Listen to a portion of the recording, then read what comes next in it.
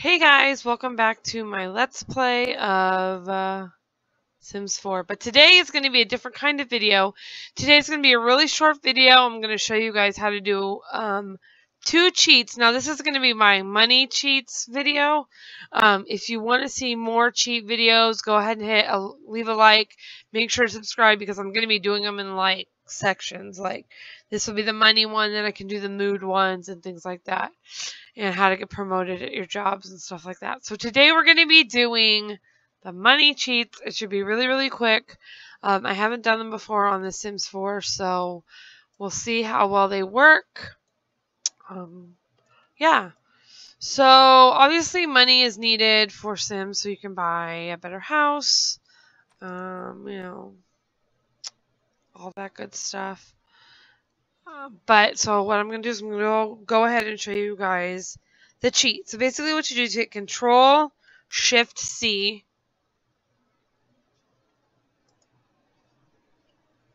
And then it toggles, if you see right here, this window opens up where you can type. And then you type in testing cheats on and then hit enter. So now the cheats are enabled.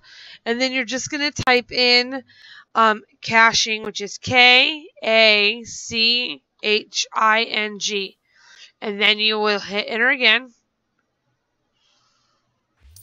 And you'll see that I just got a $1,000. So that's how you would get a $1,000 from Sims instantly. Um, so if you want to just have enough to be able to pay your bills, but you still want to play pretty much, you know, the right way, then that's how you would get the thousand dollars just to like be able to pay your bills, keep the lights on in the game and all that stuff, buy a better house in the very beginning or whatever you want to do. Now, for the people that want to play and just basically have an un like like a total resource of unlimited money, you type in motherlode, hit enter, and if you'll watch, there's fifty thousand dollars. So Motherlode is the way that you would get $50,000 at a time. Um, that's the highest amount you can get at a time. I believe you can only get a thousand or fifty thousand. So if you want a million, you would just do Motherlode over and over and over again until you hit a million dollars. Um, but yeah, so that's how you get free money from Sims, you know, without having to have a job. If you don't want your character to have a job or whatever.